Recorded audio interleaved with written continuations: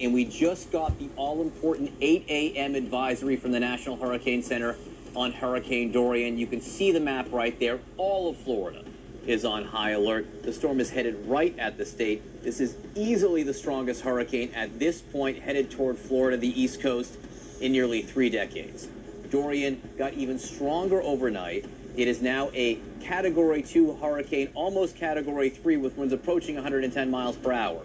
By the time it makes landfall, it is on track to be a catastrophic Category 4 hurricane. We're also starting to get a better picture now of just where Dorian could come ashore over the Labor Day weekend.